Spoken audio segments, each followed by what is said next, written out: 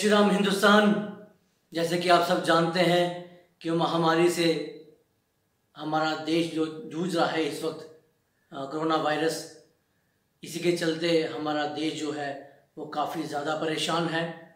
इसी के दौरान एक और खबर आप सबको पता चली होगी कि जो निर्मम हत्या हमारे संतों की की गई। एक संत हमारे जो सत्तर वर्ष के थे और एक पैंतीस वर्ष के थे। उनके साथ एक उनका चालक भी था ड्राइवर भी था, उसकी भी हत्या कर दी गई।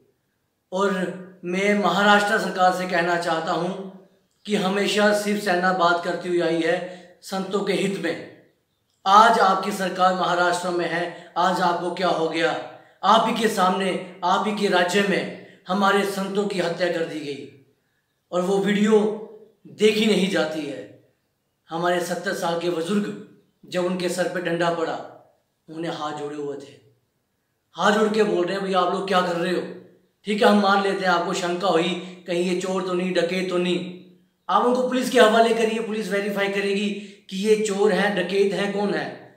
आपको यह अधिकार किसने दिया कि आप मार मार के, मार मार के उनकी हत्या ही कर दे? और जितने भी लीडर वहाँ पर खड़े हैं, शर्म आनी चाहिए ऐसे लीडरों को, ऐसे नेताओं को, जो अपनी आँखों के सामने खड़े होकर के तमाशा देख रहे हैं। और जब पुलिस के पास गए वहाँ पे जो फॉरेस्ट की चौकी थी उनके अंदर जब संतों को ले जाया गया, उस चौकी से बाहर निकाल कर पुलिस वालों के सामने हमारे संतों को मारा गया। महाराष्ट्र पुलिस नाकाम रही और खुद उन्होंने मरवाया है। मैं ये आपके माध्यम से अपील करना चाहता हूँ, तीन मई को हमारे माननीय प्रधानमंत्री साहब ने जो निर्देश दिया हुआ है, हम उसका पालन कर रहे हैं, संत समाज उसका पालन कर रहा है। तीन मई में यदि अच्छा निर्णय नहीं लिया गया। उसके बाद संत समाज आंदोलन में उतरेगा, उसके परिणाम सही नहीं होंगे। जय श्री राम।